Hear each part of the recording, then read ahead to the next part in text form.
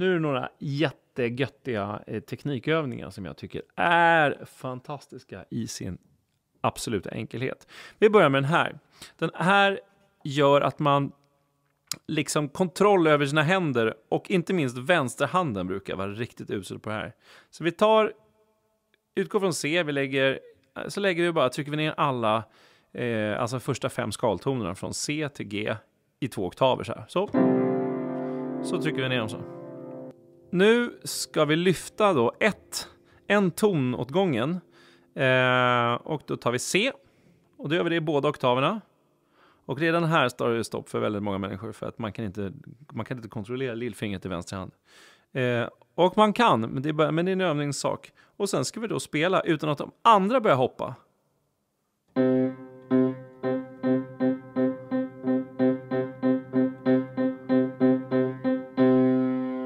Sen, då tar vi då andra tonen, det vill säga D.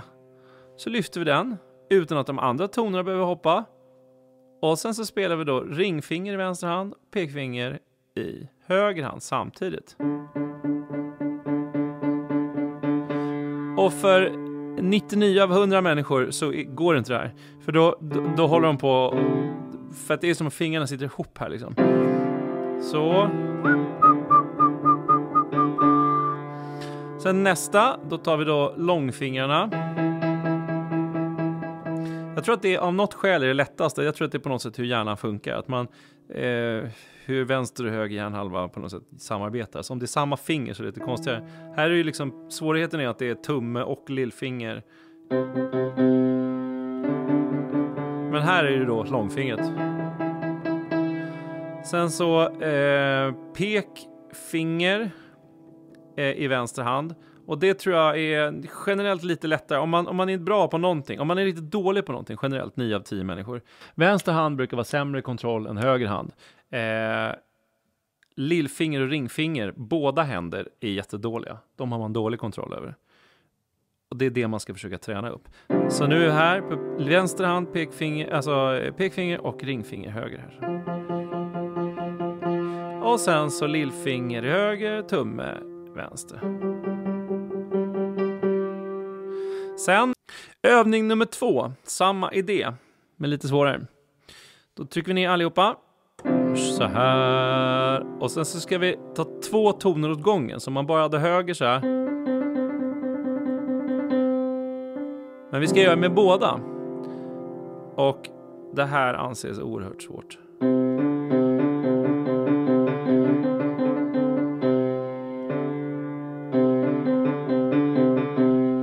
Här som får, då brukar alla hoppa. Och nu gör vi så här. Nu, eh, samma sak där. Nu ska vi då lyfta de här två. Så då har jag ring och lång i vänster och pek och eh, lång i höger.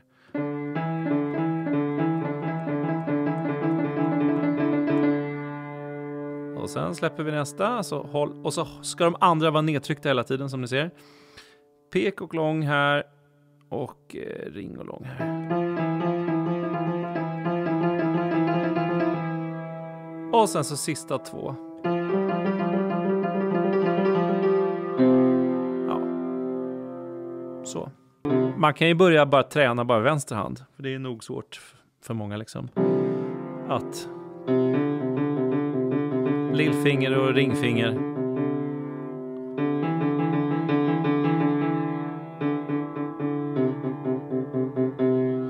Mycket bra övning. Mycket, mycket bra övning. Sen är det en som jag har uppfunnit, som jag har gjort för, för jag tycker det är gött. För återigen, och eh, vi tar den som nummer tre. Tjong. Eh, återigen för att man, har, man är så dålig i de här fingrarna. Och då började det bara helt enkelt att jag satt och ville bara träna det. Så att lillfinger. Lill da da da da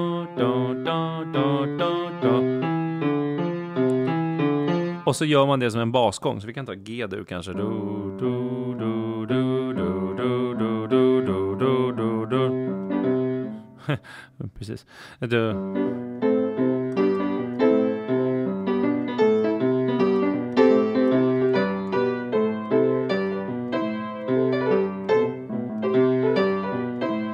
Och sen så, så kan man då sitta och roa sig samtidigt med höger hand genom att sitta och spela kanske G, A-moll. Så att första greppet är ju, kan man ta G, andra A-moll. Eller D.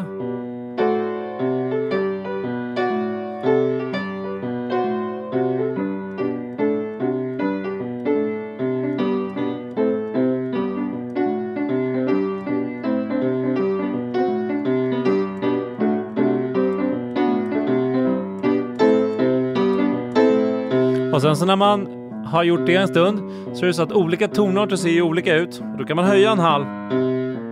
Då är man uppe.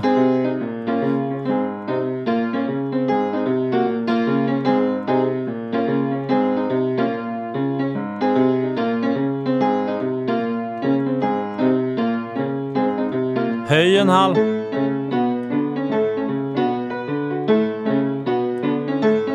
Höj en halv.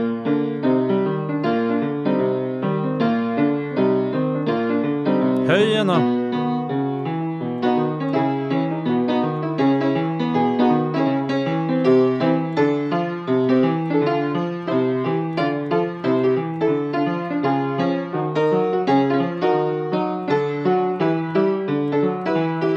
Och så kan man gå igenom hela skalan så här. Du, du, du, du, du, du, du, du. Och det viktiga är just att man har lillfinger, långfinger, ringfinger, pekfinger. Dung, dung, dung, dung, dung, dung. Alltså jag, jag kom nog på liksom slingan för att också man är lite sådär hjärnan vill få saker efter varandra Sådär. och då du, du, du, du. Så det, den tycker jag är bra. Den tycker jag är skön. Värmer upp hjärnan för att man kan ta i alla tonarter. Um, och, um, och skönt för fingrarna. Man blir varm i den här. Det var nummer tre. Nummer fyra som, eh, som vi kan ta. Nu, nu är det inte inbördes ordning längre, vilket som börjar i följd. Men alltså, det är tråkigt att säga det här, men skalor är faktiskt bra.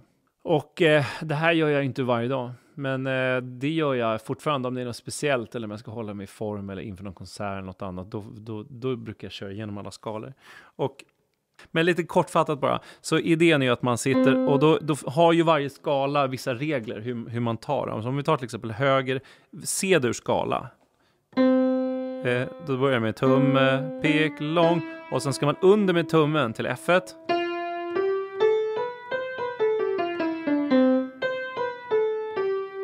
Tumme och sen så över där.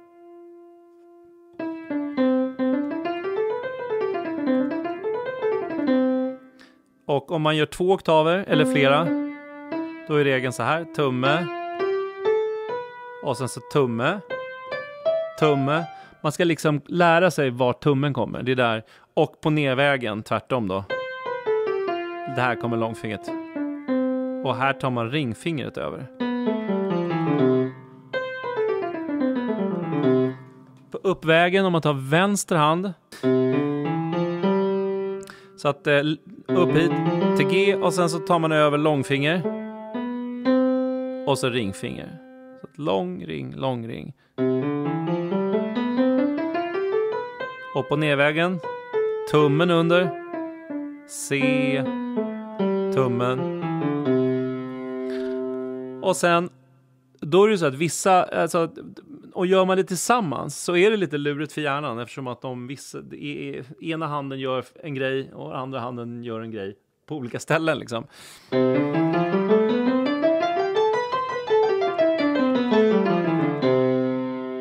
Och så gör man det upp och ner. Man kan ta tre oktaver.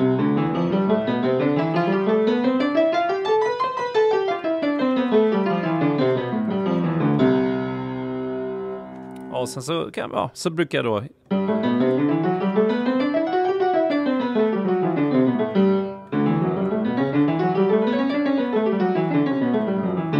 så spelar man igenom dem.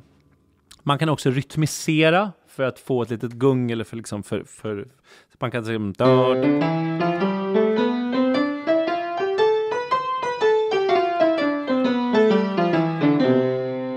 Du, du, du, eller tvärtom.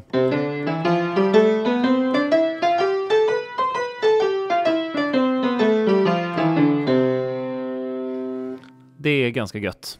Det, när man har spelat igenom dem så känner man sig väldigt, väldigt stark och tycker jag är i bättre form. Um, och sen så sista, sista övningen som jag gör som uppvärmning, som är en teknikövning. Det här gör ju mycket, vill jag bara säga syftet med det. Alltså just det här med tummen under, tummen under och på nedvägen löpningar neråt med att fingrarna går över. Så här. Det är liksom grundläggande om man ska bli lite bättre för solen etc. etc. Det är oerhört bra övningar. Eh, ska du bli elitidrottsman så får man sitta, så får man köra lite i gymmet liksom. Det är sådana grejer som folk tycker är tråkigt. Men eh, eh, ja, lyckan är ju att det är ganska, man blir bättre. Att man känner ganska snabbt att man blir starkare och bättre. Och eh, ja, det är så det är.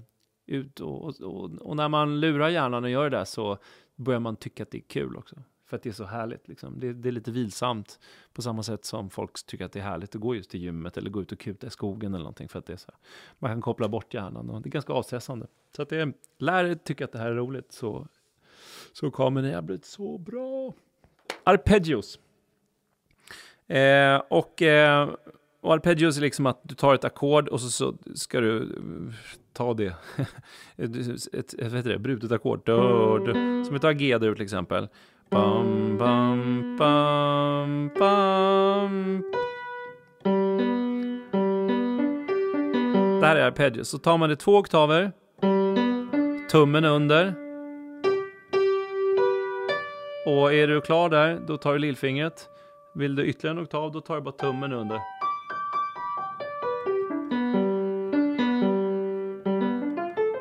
Spelar fel bara för det.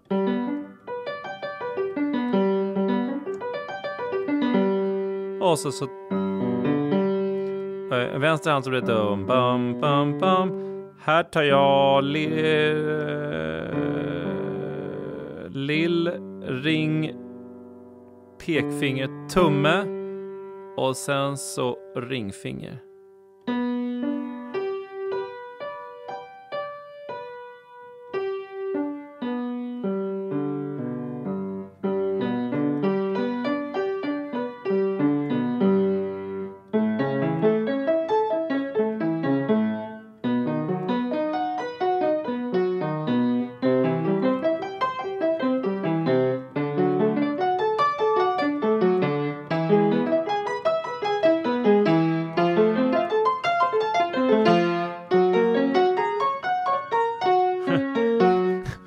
Uppenbarligen ett tag sedan jag gjorde fistur.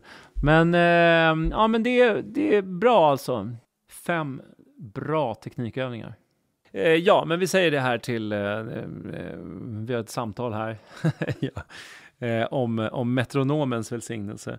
Och eh, ehm, ja, metronom, kort om det, det är ju en sån där gammal uppfinning från 1800-talet som är så här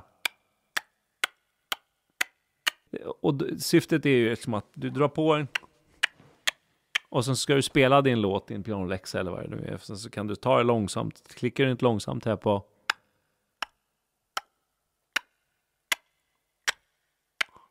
så ska du spela.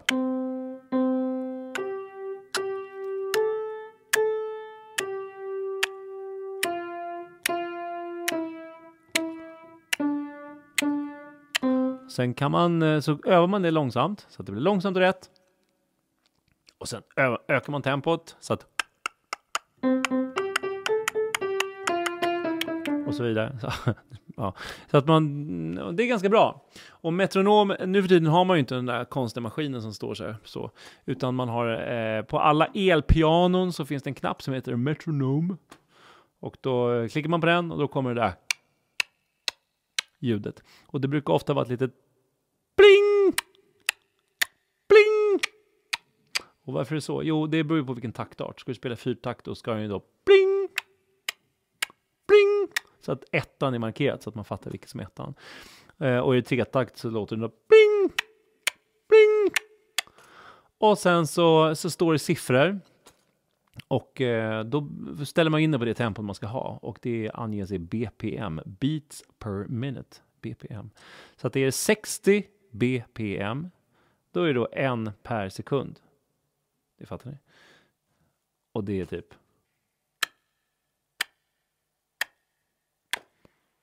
och då 120 bpm, då är det två två slag i sekunden alltså. Och när man övar de här sakerna, då kan man ju ställa in en metronom att börja så här. Dumba.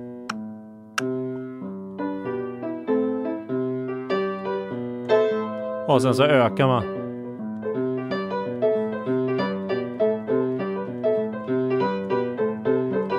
Och så vidare. Och så ökar man tempot, Tempo, tempo. Väldigt bra övning också. Det gör jag ibland, inte, vi, satt, vi stod här och pratade om en eh, duktig elev till oss som, som satt i fem timmar om dagen nu för tiden. Eh, det kan jag lugnt säga att det gör inte jag. det händer fortfarande inför som sagt något speciellt att jag ska vara i väldigt bra pianoform, att jag sitter och övar med metronom. Men det är bra, jag har suttit förr och gjort det. Lycka till där ute.